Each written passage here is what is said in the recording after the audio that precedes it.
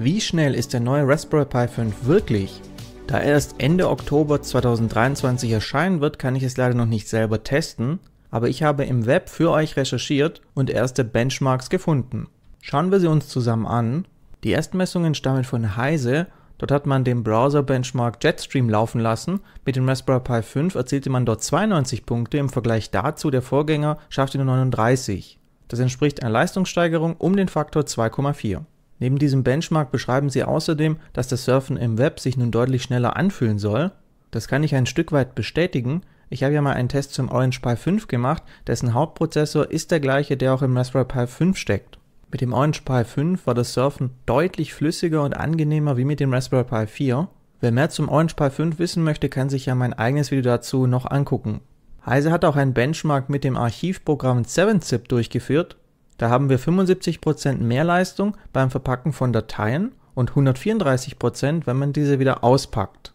Noch deutlich besser sind die Leistungssteigerungen beim Verschlüsseln mit AES 128-Bit. Hier ist der Raspberry Pi 5 satte 20 mal schneller als sein Vorgänger. Wer mein erstes ausführliches Video zum Raspberry Pi 5 angeschaut hat, wird davon jetzt nicht allzu sehr überrascht sein. Da hatte ich nämlich schon darauf hingewiesen, dass der neue A76 über kryptografische Erweiterungen verfügt die dem Raspberry Pi 4 Prozessor noch fehlten. Daher ist der Pi 5 bei allem, wo es um Verschlüsselung geht, deutlich schneller. Das betrifft im Alltag zum Beispiel Webserver, die SSL als Transportverschlüsselung nutzen oder aber auch VPN-Server. Heise hat auch den Stromverbrauch gemessen. Das sind 3,25 Watt im Leerlauf und 8,6 Watt unter Volllast.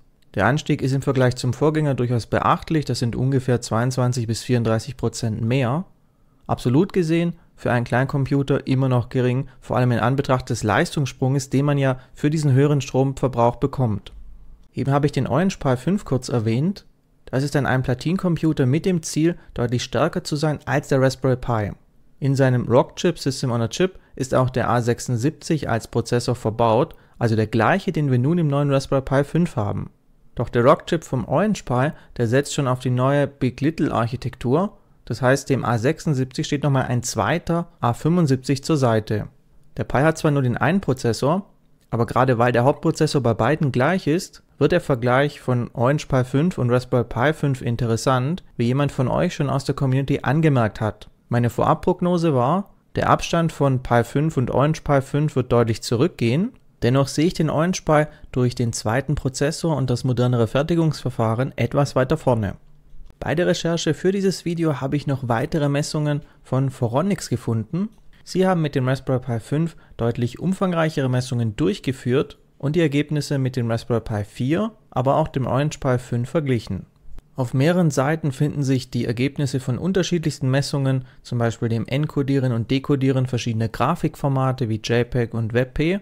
Graphics Magic, das ist ein Ableger von ImageMagick zur Verarbeitung von Raster- und Vektorgrafiken der offene Videocodec AV1, MP3, das kennt ihr von Musikdateien, das Umwandeln von Filmen in X264 mit FFmpeg, neuronale Netzwerke, die für Mobilgeräte vorgesehen sind, OpenSSL mit verschiedenen Verschlüsselungsverfahren und Hash-Algorithmen, das Knacken eines Passwort-Hashes mit John the Ripper, auch hier mit verschiedenen Algorithmen, und dazu noch unterschiedliche allgemeine Benchmarks wie zum Beispiel PyBench oder PyPerformance sowie weitere.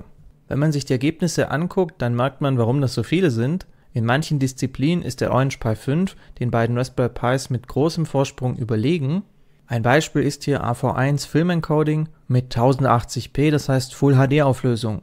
Doch beim gleichen Codec in 4K statt Full HD sieht es schon deutlich anders aus. Hier erreicht der Raspberry Pi 5 sogar minimal mehr Bilder pro Sekunde als die anderen beiden.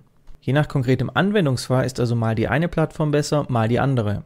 Zählt man alle Ergebnisse von diesen vielen Benchmarks zusammen, dann geht der erste Platz an den Orange Pi 5 mit vergleichsweise knappem Abstand zum Raspberry Pi 5.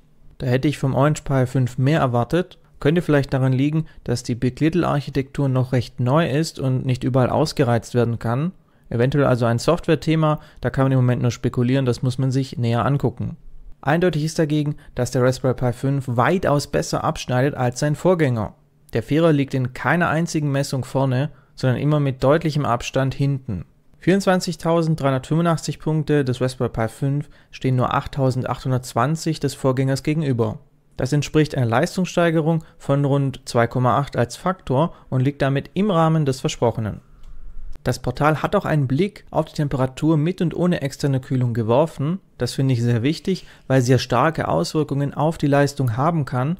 Bereits der Raspberry Pi 4 taktet sich automatisch herunter, wenn er zu heiß wird. Und grundsätzlich können sich bei Computern hohe Temperaturen negativ auf die Lebensdauer der Hardware auswirken. Dabei spielt es keine Rolle, ob das jetzt x86 Hardware ist oder eben so ein ARM Raspberry Pi. Da der Pi 5 leistungsstärker geworden ist, verhält er sich ähnlich wie sein Vorgänger. Nur mit dem offiziellen Kühler kann er die Taktfrequenz von 2,4 GHz konstant aufrechterhalten. Im Schnitt wird er dabei 56 Grad Celsius warm. Der gemessene Bereich lag bei 36 Grad bis 73 Grad. Im Vergleich dazu liegt er komplett ohne Kühlung, also so wie er geliefert wird, bei gut 81 Grad im Schnitt. Der Bereich lag hier zwischen 50 und 90 Grad. Diese ersten Messungen bestätigen also, dass der Raspberry Pi 5 deutlich schneller ist als sein Vorgänger. Faktor 2 bis 3, wie es versprochen wurde, scheint realistisch. Das relativiert den Preis, was ja schon beim Raspberry Pi 4 ein Kritikpunkt im Vergleich zur Leistung war. Trotz allem muss es je nach Anwendungsfall nicht zwingend ein Raspberry Pi sein. Es gibt viele Szenarien, in denen Alternativen mindestens genauso gut funktionieren oder sogar besser. Ich habe schon mehrere Beiträge zu möglichen Alternativen gemacht und auch Hardware-Tests durchgeführt, falls euch das Thema interessiert. Dennoch finde ich den Leistungssprung beim Raspberry Pi 5 beachtlich, das dürfte sicher einige von euch freuen. Ich werde beide Themengebiete weiterhin verfolgen. An dieser Stelle war es das. Tschüss, bis zum nächsten Mal.